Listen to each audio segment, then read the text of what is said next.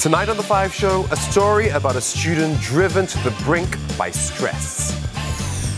Also, the alarming news of diabetes taking hold among young Singaporeans. Is our local hawker fare to be blamed? But it's not all doom and gloom. We find out if laughter is really the best medicine. Coming up on The Five Show.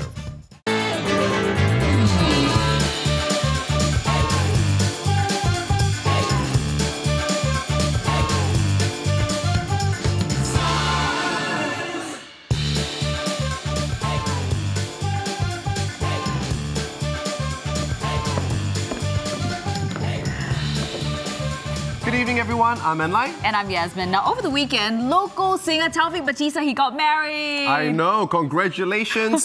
he married Sheena Akbal. Yeah. And um, the happy couple got engaged last year, you know. Yeah, he apparently proposed to her, and uh, she thought that it was a new single, but it's not. It was actually a song he wrote for her. Pretty amazing. Just for her to propose to her. Wow. Oh. But actually, on a more serious note, you know, Yes, I'm sure you've heard about the uh, A-star scholar who allegedly poisoned her Stanford classmates. Yeah, I And did. according to reports, she was experiencing stress in school. Yeah. Now we know that stress in school is prevalent, and apparently China has the highest level of stress in school, according to an international survey done in 2014. Of course, going to school will be stressful at all time, at some times, but some students cope with stress better than others, mm. and actually, with stress, some do really well. So while a handful also crumble under pressure, and if you're a parent, our first story will shock you. We met up with a 14-year-old girl who is so stressed out that she feels like giving up on life. Let's have a look. Since I started secondary three, I felt like I wasn't able to cope with my studies. I've talked to school counselors and I've talked to my parents, but there's just so much that anyone can do, I suppose, because it's it's uniform for everyone. And I have got friends from other schools who are able to cope fine. But then there are some that aren't able to cope. So I think it's not specific to my school. I usually wake up at 5:30 and I don't get to eat breakfast because I live quite far away from school. So I usually take about an hour to get there. And then when I get there, I've got um, regular meetings fr- from the student council. And after that, I just go through the lessons from about 7.30 all the way to 2 with only a half an hour break in between. Then I've got extra lessons, and after the extra lessons, I've got CCA. So by the time I get home, it's about 7 plus. I have to eat dinner really quickly and then go and have a shower. By the time I'm done with that, it's probably 8 o'clock. And from 8 to, let's say, about 12, I'm doing my homework. And aside from that, I've got tasks from student council and tasks from CCA. And it's just overwhelming. Because I have a leadership position, there's a certain picture that the teachers paint of you and your friends paint of you too. And I feel like I can't show how much pressure I am under. Honestly, I just feel like giving up on life and just shutting myself in a room and never coming out. Wow. Giving up on life, that is pretty serious. Now, here mm-hmm. with us tonight is a psychotherapist who has been practicing for 13 years and a counselor who has worked with troubled teens for more than a decade. Please welcome Miss Eugenia Garhado. Hello. Thank you so much for coming on the show. Hi. Welcome. You know, the girl in the video said that she feels like giving up and shutting mm. herself from the world. Yeah. Do you work with many teens who have that same emotion? Well, I wouldn't say many. Yeah, that's a f- fairly extreme. But yes, there are some. Yes, there are some that arrive to that traffic, tragic. It's a tragic, a tragic situation to feel that there is not Such much despair. way out for them. Such despair. Are, are girls Yes. more susceptible to this than boys? I'm afraid so. Yeah, boys are uh, in general, because it's huge generalization, but yeah, they, they can be more resilient. They kind of take push down a little bit more. Uh, but the thing with the boys is that may come out when they're a little bit older and it also can explode. Oh, wow. So, Well, um, are there any preventive measures that we can take, sort of stress relieving techniques? yes, of course. I mean, it would be very important for a young girl like that to, to do a number of things. I mean, number one thing would be really for her parents, her school, to, and for her to help her prioritize because obviously she's in a leadership position. She's got a number of things in her plate, a lot. She 5.30 in the morning she's up and going to school without breakfast.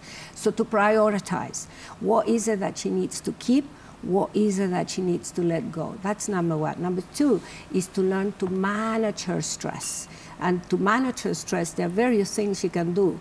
Is learn breathing techniques, pranayam, which is uh, techniques that will help her to detoxify, will help her to balance and stabilize parasympathetic and sympathetic nervous system, to invigorate, invigorate her, to help her to calm her down, and to help her to think more clearly. And then uh, things that would, laughter yoga was behind with Yvonne, which you're going to see her later. I mean, it would be wonderful for young people to learn laughter yoga, you know, to learn how to release this tension that builds up over time, over time, until they come to a time of despair. You know, a, a, a young girl, a young person should not come to a time of despair. You know, it, it should be prevented. It- Right. that, that human being need to learn how not to get there. Right, but what about the situation at home? Say, you know, as a parent, right? Um, some children may feel that they- don't want to tell their parents because they feel they'll trouble their parents. Is, is that how these things come about? Yeah, this is, that, that is a very challenging question because the reality is that if the children cannot tell their parents that, as a psychotherapist, tell me already that there is communication issue with the parents that have been breathing for quite some time, and then as a teenager they don't find that ability to mm-hmm. communicate. It could be for a number of reasons. So parents, you know, don't go to daddy or mommy school, but we should have mommies and daddy Yeah, schools, you know, yes. you know, because our own parents, if they didn't know themselves how to deal with it, they cannot teach it to us, and then we cannot teach it to our children. So parents could also learn, and that's where we exist, psychotherapists and counselors, how to deal with young children, how to deal with a teenager, how to handle this situation, how to be able, even if those channels with the teenager have closed up, mm. how to help a teenager to open up with us. You know, I'm also a mother, you know, and, and, and I haven't known this uh, since I was a parent. I had so, to learn. so parents will have to. I mean, it's, it's good. You you have to go out there to learn techniques, to to go for seminars, and don't be shy because you might feel that oh I should know as a parent, but you don't. No, why should right. you know? Who said you should know? Okay, no. well, th- thank you very much for sharing this with us uh, today. And uh, coming up in just a bit, we're going to explore another serious issue affecting Singaporeans diabetes. More and more young people are getting it, and we find out why. Also, remember to like our Facebook page where you can get updates on our show and stand a chance to win cool prizes. But right now, it's News 5 at 9 with Jill Neubronner. Many thanks, guys. On News 5, a new survey shows that younger men are twice as likely to get divorced as their older peers. We'll look at key findings and just how stable marriages in Singapore are and how prices of leasehold private property may actually be proving more stable than freehold private uh, property. Uh, find out next on the news.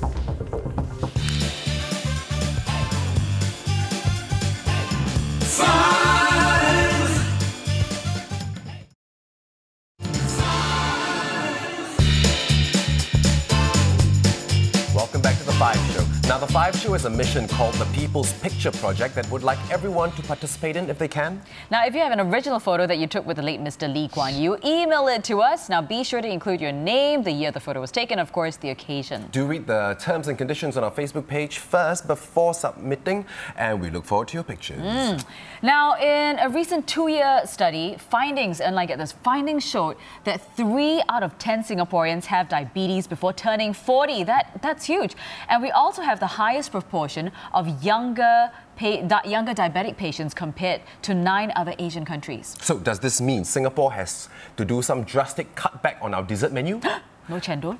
Hmm, well, we're gonna nip the question in the bud right now. Here with us from Mount Elizabeth Novena Hospital is Dr. Ben Ng. Hello, Dr. Hello. Ng. Welcome to the show. Thank you. So, first of all, let's address it. Um, younger people are getting, more younger people are getting type 2 diabetes. I think we have a little chart we're going to pull up right now. From 2004 to 2010, you saw an increase of 83% of younger people getting type 2 diabetes. This is quite an alarming rate. What's going on? What, what's causing this? I think there are many factors that are actually causing the rise in diabetes, and I don't think it's possible to pinpoint on one in particular. But without a doubt, I think lifestyle has a lot to do with it. And I think the main problem, well, let- let's face it, Singapore is a food hub. So there's plenty of food about hawker food and different varieties of, of food that you have. And I think there's one huge factor, it's so easily available.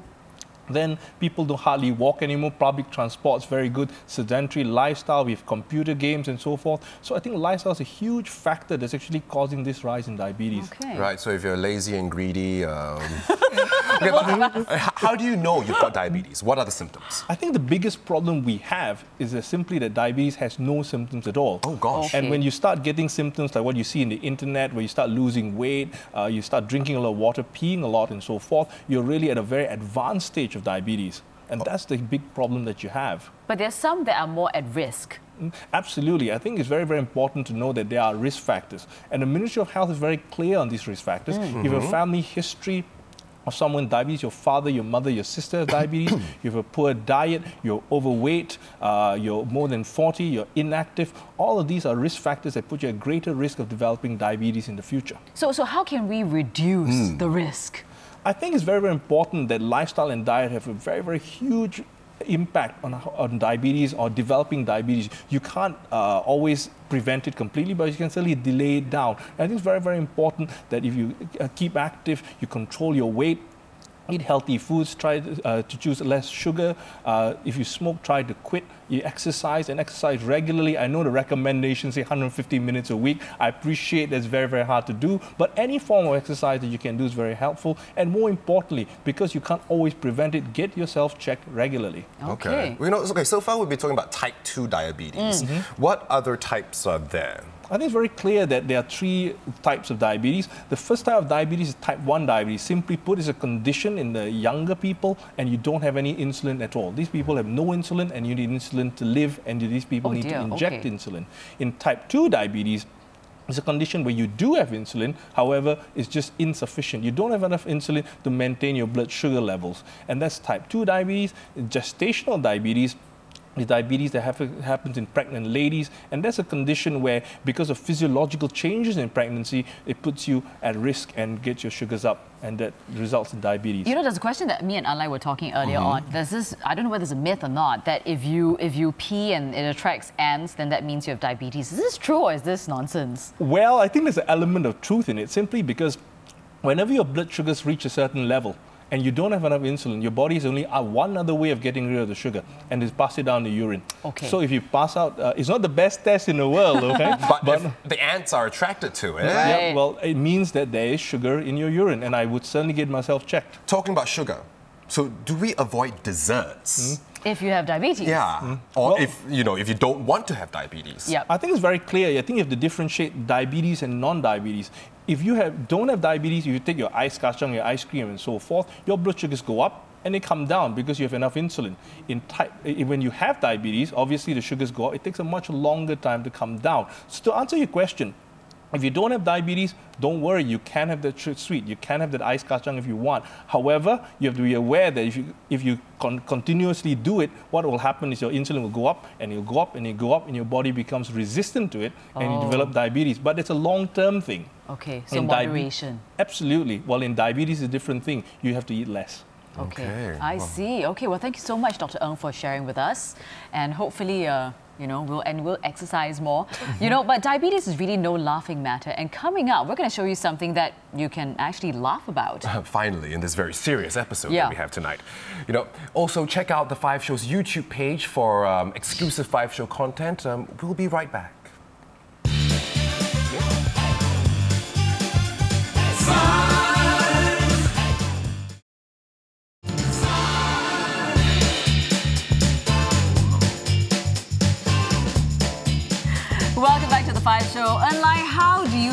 Relieve stress? Well, um, I will pop in a DVD of Little Britain and I'll just laugh and laugh and laugh and laugh and laugh. Actually, that's a really brilliant idea. I should try it out. Anyway, laughing is a great, uh, a great stress reliever, and it's been scientifically proven that laughing helps boosts our health. Now, recently, I met a group of people who laugh at just about anything. I'm not kidding you. Let's have a look.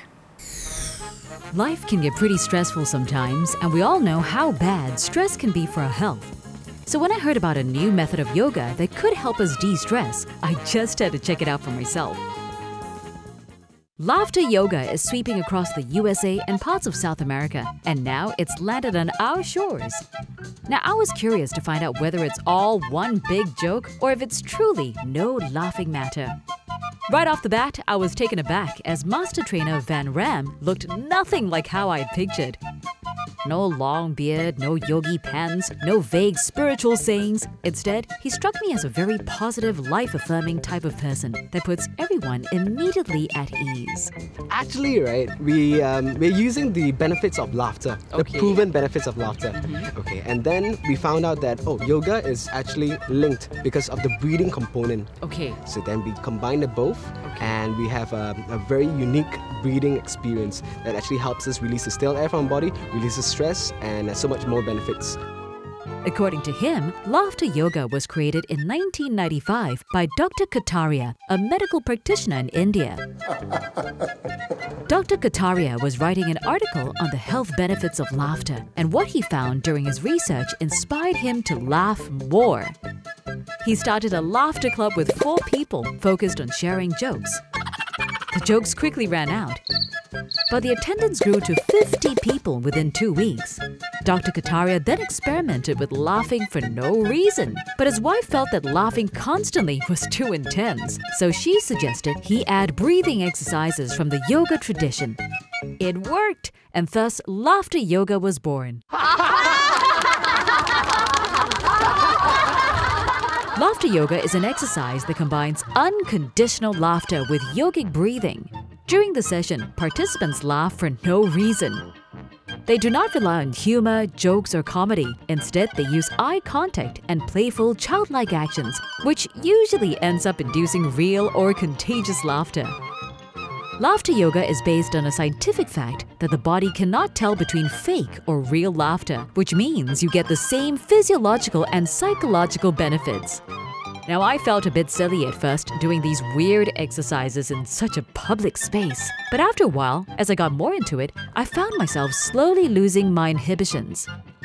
I was a bit iffy on the forced laughter part of it, but the breathing exercises did leave me feeling more energized. While it may not have been necessarily my cup of tea, others in the group seemed to react more positively to it, judging by their smiles and laughter even after the session had ended. You know, when you share the happiness, it doubles. You know, when you share your happiness with someone else, it doubles. You know. Oh, it's good. It's good. Yeah Very good. Very good. Yeah. As I always say though, you should be willing to try anything once. Who knows? Laughter yoga just might be for you. Well, here to tell us all about laughter yoga is joyologist Dr. Yvonne Louis. I love that you're a joyologist. Joyologist. So- Happy to be here. Okay, so what happens to our brain when we laugh? Ha ha ha ha ha. So when we laugh, um, endorphins is released in the brain, Mm-hmm. and so what happens is it actually inhibits the pain pathway, leading you to a more relaxed, more happier mental state as well. Oh, okay. Okay. What are the other benefits of laughing? Well, actually, laughter yoga it's actually a very good cardio workout. It is a total body exercise. Really? So in fact, 100 times of laughing, you laugh for 100 times, is equivalent to 10 minutes on the rowing machine. Wow. Which is why, you know, a lot of times after a long period of laughter, really hearty laughter, we feel so exhausted. That is true. It's actually a cardio workout. I didn't Exactly. really think of that. We don't have to go exercise. We can just I- laugh we 10 just minutes laugh a and laugh and laugh. Exactly. Okay, so we've got uh, uh, some some uh, something on the screen. Let's bring it up again. It's it's two brain. What is this? The, the scans of brains, yes, is it? exactly. Yeah, so this is an electrochemical image of the brain. Um, on the left, we have it at resting, and on the right, it's you know after 20 minutes of exercise, you see endorphin being released in the brain. That's a lot. yes, the brighter it is, the more it is. But hang on. Okay, this laughter yoga thing is to try and uh, stim- um simulate laughter, is it? That's right. Yep. So what's the difference between forced laughter and natural laughter? That's right. So as you've seen in the video, our body and our mind doesn't know the difference between laughing at something really funny or laughing for no reason at all. You still reap the physiological and psychological benefits. Wow. How about nervous laughter then?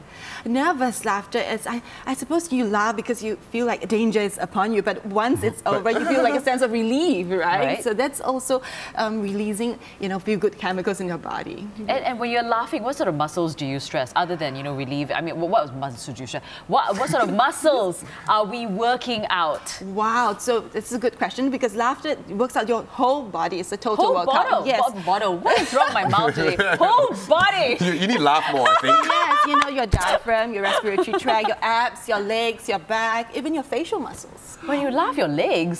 Yes, because we move around and you know you Okay. stretch. You do a lot of exercise, stretching and breathing as well. Facial muscles, but That's what about those laugh lines? Dum, dum, dum.